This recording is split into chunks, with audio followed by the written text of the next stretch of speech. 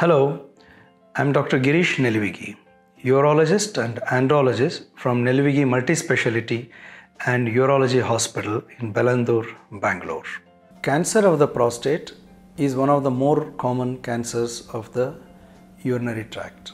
In early stage cancers of the prostate, the treatment is either radiotherapy or surgery.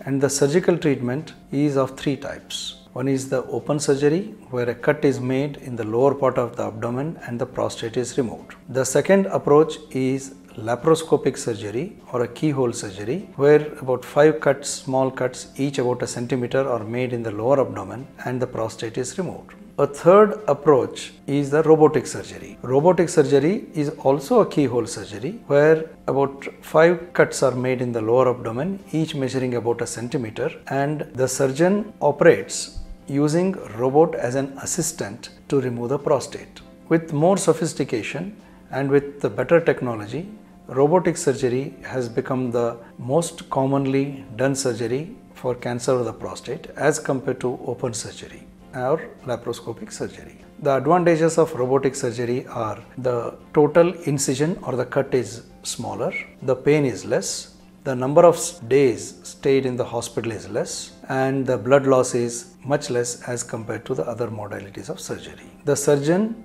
in robotic surgery can see the prostate or visualize the prostate and the surrounding tissues quite well so that the safety of surgery also increases. So, in the present era and in the years to come, robotic radical prostatectomy has become and is going to become the standard treatment for cancer of the prostate.